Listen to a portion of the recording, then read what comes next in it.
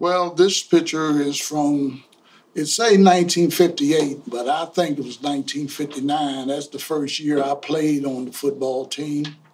And I was just a youngster, and it just meant a lot to me back then. It was, most of the guys on there are seniors, and I was just a eighth or ninth grader at the time, but that's basically what it was. It was my first football team I played on at Douglas.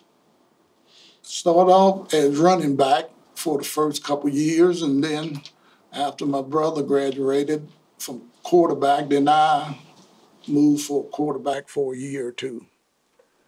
And then last year in school that we didn't have a football team because we didn't have enough ball players.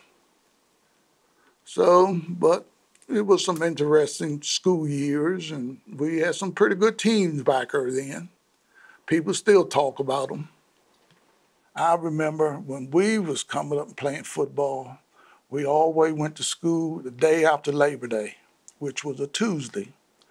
And we used to practice in gym clothes on Tuesday, uniforms on Wednesday, gym clothes on Thursday, and we would play our first football game on Friday.